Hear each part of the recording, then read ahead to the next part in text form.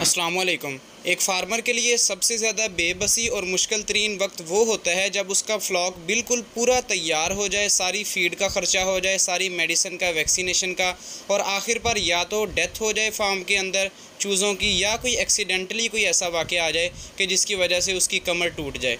तो ऐसा ही एक वाक़ जो है, हुजरा शाह मुकीम के अंदर पेश आया। कि रात जो ब्रॉयलर वाली गाड़ियाँ माल लोड कर कर निकलती हैं फार्म के अंदर से और आगे सप्लाई करते हैं चिकन सेल पॉइंट पर वहाँ पर जो है जाते हुए रास्ते में एक गाड़ी का एक्सीडेंट हुआ और फुल बड़ी गाड़ी थी करोड़ों का माल था उसके अंदर के जो एक हादसे की नज़र हो गया और उसमें से सिर्फ़ कुछ बर्ड्स जो हैं वो ज़िंदा बाकी हैं।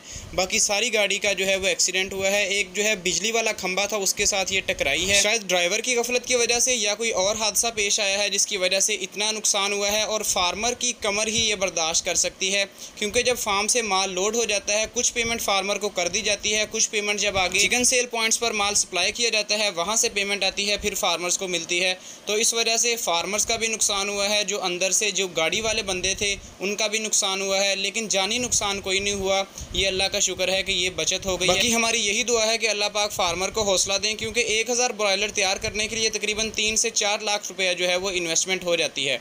तो ब्रॉयलर का जो शेड होता है, वो तो होता भी पच्चीस हज़ार या तीस हज़ार चूज़े का है। तो उस पर करोड़ों के हिसाब से जो है वो इन्वेस्टमेंट होती है, लेकिन आखिर में अगर ऐसा नुकसान हो जाए तो फार्मर की कमर टूट जाती है। तो अल्लाह पाक फार्मर को भी हौसला दें और हमारी यही दुआ है कि जो भी बंदे फ़ार्मिंग कर रहे हैं, खा वो लाइफ स्टॉक की है, खा वो पोल्ट्री की है, कि अल्लाह पाक हमेशा उनके लिए राह हमवार करें और हर किस्म के नुकसान से उनके फ्लॉक को, उनको बचाए रखें। आमीन।